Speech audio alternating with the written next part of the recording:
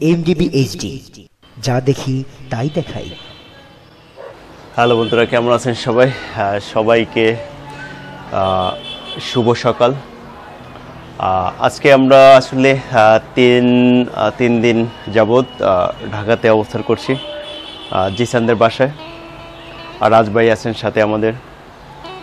আসলে সর্বোপরি ঢাকার পরিবেশ, ঢাকার যে আবহাওয়া সব কিছু মিলিয়ে আসলে ঢাকায় যারা আমরা আসলে কাজ করি অথবা মাঝে মাঝে যখন কাজে আসি, তখন আসলে আমাদের কাছে আসলে একটু অস্থির মনে হয় যে এত যানজট, কালো ধোয়া মানে বিল্ডিং সব কিছু মিলিয়ে মানে নিজেকে একটু শ্বাস করার মতো কিন্তু আসলে সেই জায়গাটা কিন্তু আসলে ঢাকায় আমাদের জন্য কিন্তু আসলে খুবই অস্থির হয়।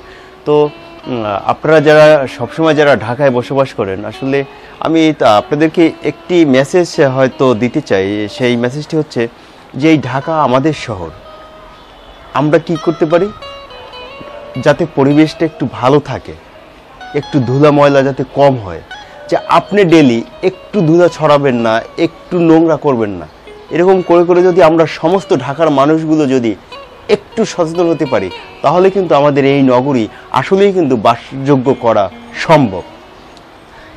আর এটা যদি না করি, তাহলে কিন্তু আস্তে আস্তে আস্তে আস্তে কিন্তু আসলে বাসের অনুপযোগী হয়ে যাবে আমাদের এই সুন্দর একটি নগরী।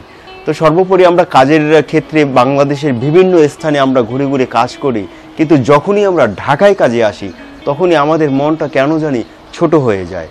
পরিবেশগত কারণে থাকার কারণে, বাসাবাড়ির কারণে সব কিছু মিলিয়ে। তো আমরা চাই আসলে আমরা যারা সবসময় যারা ঢাকায় থাকি, তারা আমরা চেষ্টা করব একটু পরিবেশটা যাতে ভালো থাকে, পরিবেশটা যাতে সুন্দর থাকে, সেদিকে লক্ষ্য রাখবেন।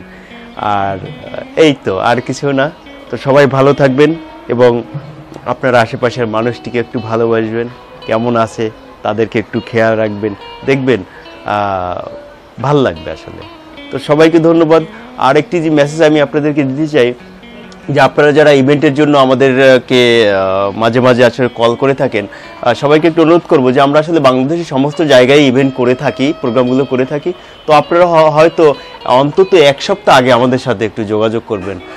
যেহেতু জানেন যে একটু যাতায়াতের একটা বিষয় থাকে যে এক স্থান থেকে আর স্থানে যেতে কিন্তু আমাদের একটু সময়ের প্রয়োজন হয়। একদিন কিন্তু আমাদের যাতায়াতে লেগে যায়। সেক্ষেত্রে কিন্তু এক সপ্তাহ আগে যদি আমাদের সাথে একটু যোগাযোগ করেন, আশা করি বাংলাদেশের যে কোনো প্রান্তে আমরা কিন্তু আপনার ইভেন্ট করতে পারব। তো সেই আশা নিয়ে যেহেতু গতকালকে আমরা নেত্রকোনা থেকে একটি ফোন পেয়েছিলাম সময়ের কারণে কিন্তু আমরা নেত্রকোনার কলটি রিসিভ করতে পারিনি।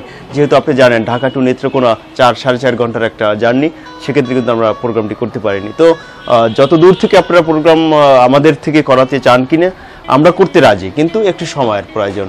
তো, সর্বোপরি দর্শক, সবাই ভালো থাকবেন, সুস্থ থাকবেন এবং দেশটাকে একটু ভালোবাসবেন। সবাইকে আবারও অসংখ্য ধন্যবাদ। আল্লাহ হাফেজ।